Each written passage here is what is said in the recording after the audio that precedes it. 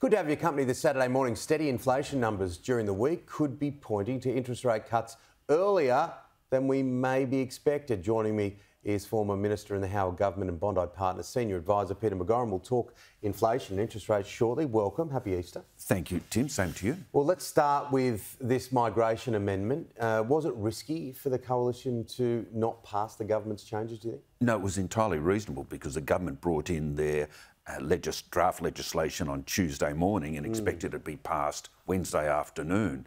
Tim, it's getting very complicated for people. Very, very simply, Yeah, we need simplification on these things. 149 criminal detainees were released into the community. That's still ongoing. Ankle, anklets, um, ankle, Ankle bracelets, bracelets, yeah. um, supervision orders, curfews not being adhered to. That's one category. The second category is there's still 150 people in detention who have been refused their applications for political asylum and they're not going home and they refuse to cooperate. They won't take passport photos, they won't meet consul generals from the country of origin. They're refusing to, to do anything which will allow them to be deported, even though they're not political refugees. Now, there's a test case in the High Court that'll be handed down on an Iranian man uh, on the 17th of April. And if the High Court finds that you can't keep him in, in indefinite detention, even though he's causing it himself, uh, then the 150 are going to be released. So the government's right to address the issue. But as always, they're very late to the party and they're trying to rush it through. Should the Prime Minister remove the Home Affairs Minister and Immigration Minister in a bid to have some damage control, do you think?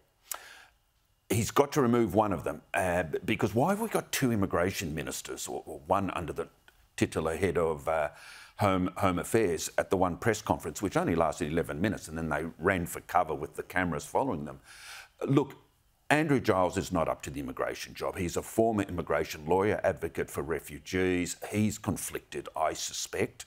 Uh, Clare O'Neil, as the senior minister, should be handling it all. Either merge Andrew Giles's role and responsibilities into the bigger department and let her uh, manage and prosecute these issues, or get rid of one of them.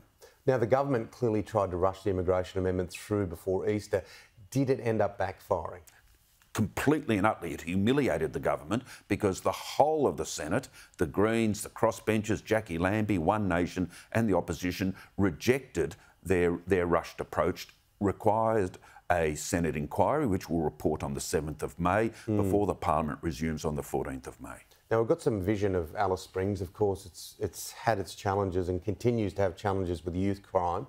They've brought in curfews. Now, should this be introduced in other parts like Townsville and other problem areas? Yeah, there are some towns that are so out of control, such as Townsville, Moree, where there should be a curfew for uh, young people under 18. No question. I think the curfew is the way to approach it. We've got to try and stabilise the law and order issues, the threat to the community. But on the other hand, Tim, lo- locking up in, de- in detention, in incarceration, 12, 13, 14 year olds isn't an is a very big task. Can you imagine the support such a services? hard issue, isn't it? Such a hard issue. It's going to take a long, long while to address. But let's at least protect the community from their worst excesses and then try and focus in on them. But you can't just put a 13 year old in, in, in a jail cell. What about the schooling? What about the mental health? Um, but those kids are often trying to escape.